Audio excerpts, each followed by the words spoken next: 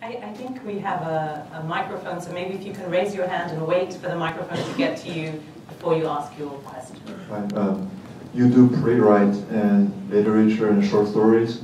Uh, what's the difference between, uh, I mean, have you ever thought about mixing, uh, mixing two different forms of literature together? Um, yeah, that's my question. Uh, like maybe mix a playwright with a short story, like uh, maybe same uh, use the same uh, writing technique or style. Yeah, the only experiment I've done is, you know, use, use orality. My novel Matigari is really was almost an experimentation in um, oral storytelling, but in, in a written form. I, you know, Matigari is a very simple story, but he's got the repetitiveness of, a, you know, uh, an oral tale, and you know, an oral tale often has what we call orature, also has drama in it, has music in it, you know. Uh, so I tried all those elements in uh, the narration of uh, Matigari. But otherwise, I'm not. Otherwise, I. Again, when you're writing writing a play, you know, like the one which is a play which has not been well, the one which, if you like, was the one which forced me to exam. Play. My first play in the Gikuyu language, I'll marry when I want. I'll marry when I want. Like a dad forced me into prison for a whole year. The one he was referring to. My next play in Gikuyu, mother sing for me, Maitu Njugira forced me to exile. so I have a special relationship to theater. and um, I'm not, I've not written a play recently because I don't know what's going to happen to me. yeah, but in a play, theater, you can really have different, you know, sort of um, uh, genres into, particular music, you know, uh, and little narrations within that. Uh, in a novel, particularly when you draw from on orature again, you can also have interesting sort of stories within stories. Yeah, and of course you can also have a poem or two in the novel. Hi. Um, you've written about translation as restoration, and that um, in, in, in, the idea of translating works by African writers into uh, African writers writing in English or French back into um, African languages. And then, Mukoma, you talked about translation between African languages. I want to know what's happening um, in, in terms of these ideas. What, what, kind of what kind of translation is going on today? Um, I, in terms of between African languages, yeah. you know, um, I've done little. you know, I mean, I've, I've done a few poems, um, but in terms of actual work being done, uh, unless I'm wrong, I haven't seen much. Mm. Um, you know, because there's there's a real question of, you know, as Papa was saying, there's a real question of um, of, of, uh, of support, whether it's from the government, but also from publishing, you know, from publishing companies. It's one thing to tell them that, you know, uh, I want to translate something from English into, into, into Kikuyu or Kiswahili. You know, that's one thing that you still have to fight. But I think to tell them, you know, now let's translate between Basotho poetry and, and you know, and Kikuyu, and Kikuyu poetry. No, so as far as I know, not much has been done Well, once again, it boils down to the place of African languages in the African continent, in African countries. You know. So it's a kind of vicious circle, you know, uh, negative policies, educational ones, therefore very few publishers also, you know, venture into that area, therefore very few readers. So one thing feeds into the next, into a kind of vicious circle which you know has to be broken somewhere, and we try to break it, you know, uh, and there are a few good things which are happening, by the way. It's not just negative, by the way. It's many good things are happening. But in Kiswahili, there's a whole body of translations into Kiswahili from of the most of the major African writers are now in Kiswahili, by the way.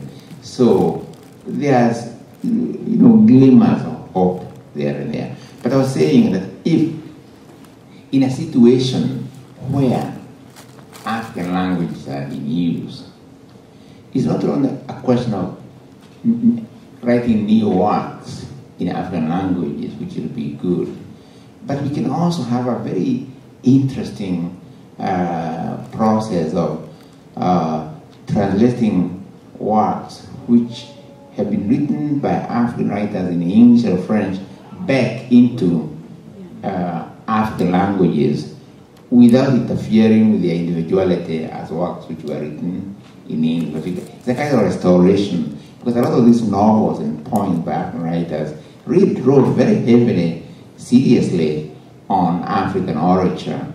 So restoration is a kind of restoration really to African languages. Then you can also have a very interesting dimension of translation quite translate, you know, the African uh, diasporic, you know, literature, that whole vast literature. You know, we need names like, you know, uh, Langston Hughes and other big, the everyday names in the lips of African kids, you know, uh, uh, and then world literature, whether it's English or French, into African languages, you know. So what I'm trying to argue is that, in fact, potentiality of African is huge. It's huge. Uh, but there has to be a fundamental change towards the languages, you know. We have to find a way of breaking this vicious circle where everything feeds into each other to work against African languages. But if it's a question of development of African language, it can be done either through writing originally in those languages, but also translation. I really think translation is a very, very important tool, which will be used. Actually, it's only by the it's only religious organizations. They are the only ones who seem to know the real value of translation. You know, uh, without the Bible, many African languages would have died by now. Mm. But the people in the people, people in the Bible, they believe in so much that they make sure it's available in as many mm. languages as possible. Yeah. Yeah, and there, there, there, was a question just briefly that was raised by Obi Wali in a 1962 conference, uh, which was whether if you have uh, African literature in, uh, in African languages, so let's say writers are writing in African languages, what about criticism? You know, because then if you figure that uh, criticism and, and, and the literature, they're sort of symbiotic, right? So, and his argument was that, yeah, critics also need to pick up the, the language debate. And there's one example of Kimani Njogu, you know, who has written um, a literary theory, a literary theory book in Kiswahili. So, so I mean, there's the, the, work is there, people just need to build on it. In the same way that we need to build on an existing resource, which is that most, uh, most people, for example, in Kenya, you know, speak more than two or three languages. You know, so, so the, the potential is there, uh, but we need, you know, either universities and high schools and so on and so forth to, to do, to make translation a center or at least part of the curriculum. So I think we only have a few minutes, so maybe we can keep the questions short and, and I'll try to keep the answers. Good afternoon. Um, I was wondering, in the translation of your writings, has there ever been a word you just haven't found an English counterpart for? Oh, oh, oh yeah, there are. Uh, first of all, all languages, by the way, have their. It's, what I find fascinating about languages. By the way, I have to say this about, this about languages. That I said that there's nothing wrong with English or French or Italian. What's wrong with the language situation is their hierarchical relationship. Mm-hmm. Each person wants to think that their language is somehow better, has more power than other languages. And what we need is to collapse that relation between languages in terms of hierarchy, but more in terms of a network. With network, give and take, and translation obviously enables that, you know. As every language has certain words, certain ways of saying things which are very difficult to put into another language. Yeah, every language has those peculiarities. Yeah. Yeah, there's one word that used to give me this example of uh, of godera, which means clean, but it's also philosophically is it opaqueness where where you can see through where you can see through. Uh, yeah. Yeah. You know, so so that's one word that's difficult. You know, but in translation theory, you, such words would always exist. So as a translator, you have to decide. You know, do you want to use multiple sentences to describe that? Do you want to keep the word so the reader feels the you know, feels the original, original language in the translation? Uh, or do you want to completely figure, you know, let's say fast food in Kenya is nyama choma, roast meat, and then consequently in the US it will be McDonald's in the, in the translation. you know, so, so there are all sorts of questions one can weigh. Okay, next question. Well, thank you very much for this wonderful conversation. Um, I wanted to ask you, considering colonialism, decolonization, um, exile, academics, and now I want to add uh, crime fiction, would you consider yourselves transnational authors? Oh, no, me, I'm not transnational, I'm Kenyan. Um, I'm a co-language writer. yeah, no, my- myself, I, I think that, you know, it's, it's a huge debate, you know, because the question is, can you exist without roots? You know, so can you be transnational? Can you be universal with, without, without roots?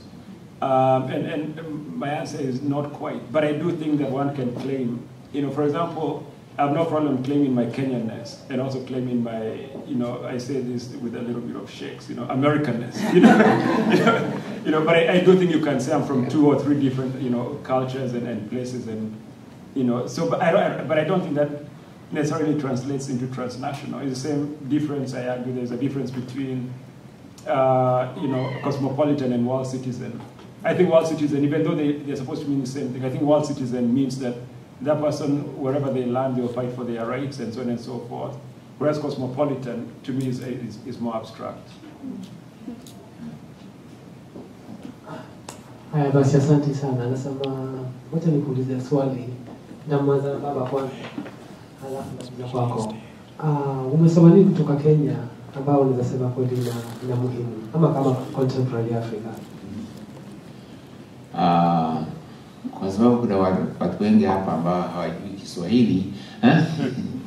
Ah, asante sana kwa swali lako, lakini uh, kwa sababu watu wengi hapa hawajui Kiswahili eh? Ah, tutaongea eh, ah, kwa lugha Kiingereza. Yeah. He was asking, was, you asked whether I've read anything lately from Kenya, correct? Yeah, I what you really like. Yeah, that's what I've read uh, uh, lately. I read anything from Kenya and what I like, and so on. You know, uh, and he was asking Kiswahili. He speaks very beautiful Kiswahili. Asante sana. And he made it. So see, it can be done. Huh? If you can yeah. Um, not recently, but I have no. Actually, I do have read actually one of them. Well, of course, I've Yeah, Mukoma's books I've read, you know, but, um, but also uh, I think a young man called um, Mwangi Binyavanga Wainaina. He's actually a very interesting um, uh, autobiography or memoir. One day I'll write about this, you know, or something like that. You know, it's really very very fascinating. It was written uh, almost as if he's speaking it out. You know, he makes you as a reader, he draws you into the drama of his life. So as it unfolds, you feel that you, you know, you're unfolding with it as it were. You know, uh, that I find very, very, you know, uh, uh, fascinating. So a lot of good things are coming. But on cosmopolitanism, let me say this: younger writers, what I find generally, whether I'm talking about English or French or younger writers, you know, like her, what's her name again? This young lady. No, NoViolet, yeah, Bulawayo. yeah, yeah. You say Bulawayo. that she Yeah, yeah, yeah. Bulawayo. and others, Imukoma, you know, uh, Adichie, and all that. There's a kind of, in a way, they assume the world this their world in a way that helps them cross uh, across cultures and countries much more freely, I think, you know, than probably you know, uh, my generation, who were very clear. There was colonized and colonized. we grew up in that kind of within that kind of world where there was colonization, colonizer, and anti-colonial. We were always aware of that. But the new generation is very good thing because of the, the world which they, they are inheriting. A more globalized world, you know, they travel more. This, you know, so this is reflected obviously uh, in their work. I don't talk about my son's work, but what's very, very interesting about this book and what everybody's commenting upon, and very, very fascinating. Uh, I taught in my class at Harvard, and what they drew up is this. They, what they, they were fascinated them was this. Um, this um, the two characters, the two main characters are one is African detective, the other is African American, and the exploration of the dynamics. This has not been done before. You know, so it opens new territories, new ways of looking at uh, Africa, African, African, African American relationship. I mean, it's, it's very complex, but within a thriller, mystery, detective structure. Yeah. So we, we have just time for one more question. Can, can, I- can I just a quick, um, in terms of, um, of Nairobi Heat, you know, I've read it and I quite enjoyed it. You recommend it? Yeah, I recommend it. And, and since his books are not here. uh, but um, in, in terms of one of the books I've read lately, it's called um, Tales of Kasaya. It's by Eva Kasaya, right? And it's written by a housemaid. You know, she, she's a former housemaid. She's a, if you're familiar with the housemaids, they're the most um, exploited people uh, in, in the Kenyan, you know, Kenyan labor system.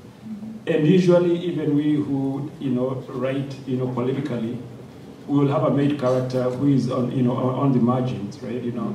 So for me, I'm finding very, very fascinating in that now it's is this character. Well, I mean, I'm calling her a character who has been marginal, uh, even in even in uh, in books for those who are fighting for her, and now it's uh, essentially giving us her worldview, and, and it's brilliantly, brilliantly, brilliantly uh, written.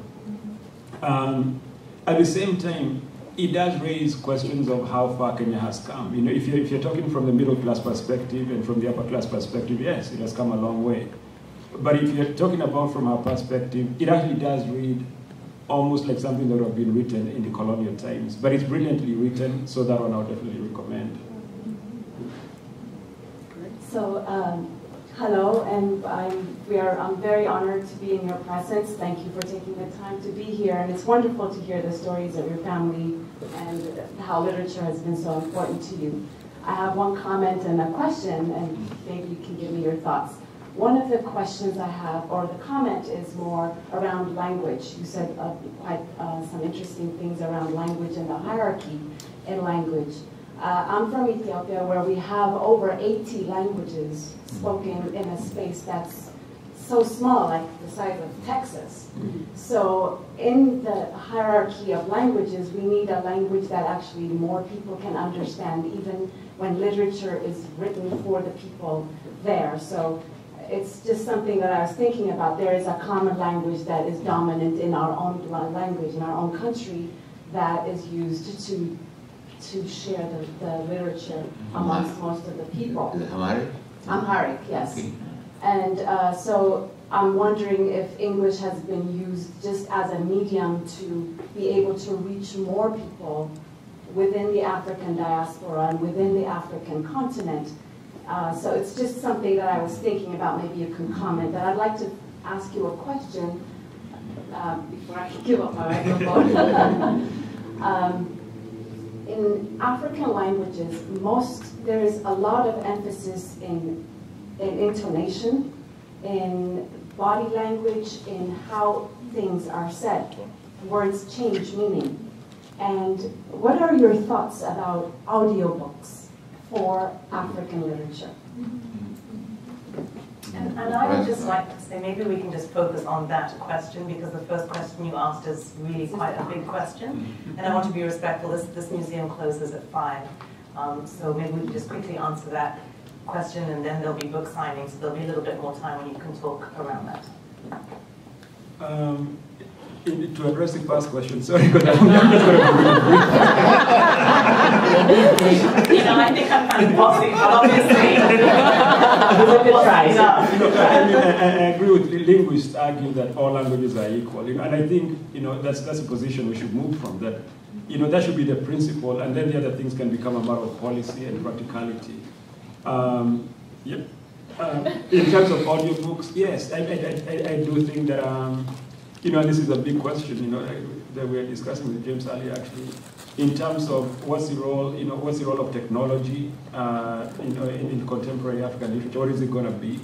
And I agree. I, I, think audiobooks would be, you know, certainly they should be there. You know, there's a time I was uh, talking with um, with my editor in South Africa, and he was saying for him, he has this goal of of people come, you know, and um, you know they come listen to the writer, you know, in a stadium or whatever, you know.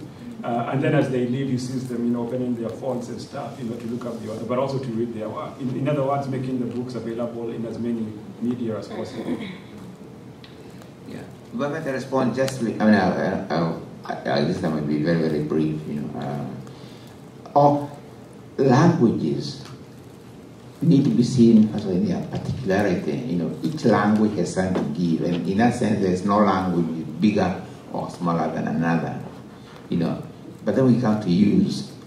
Of course, if this was recognized, there's nothing wrong in one or two languages also being languages that help, you know, uh, whether it be English or Amharic, Kiswahili. Like I'm very proud that we have Kiswahili in Kenya, for instance, you know.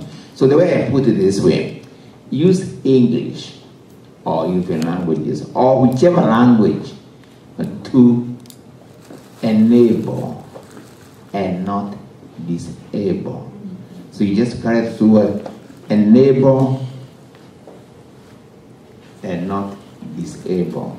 In other words, you don't English just now is used to what enables enables visibility. It disables those interests because it takes them out of. But the way you can use English to enable conversation without disabling. Yeah. So enable and not disable. Or enable without disabling. disabling.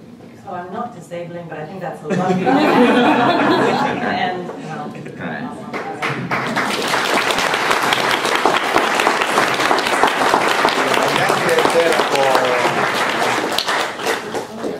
Yes, I want to thank all three of you. Thank you, Ngugi and Mukoma and Sarah, for being here today. And thank you, Litquake, for bringing this here to the Museum of the African Diaspora. Um, if you like what you see, come back and see us again, become a member, support us, and turn in your evaluation. There are copies of Nairobi Heat downstairs. You can go purchase them and bring them back up to be signed. Thank you very much for coming today.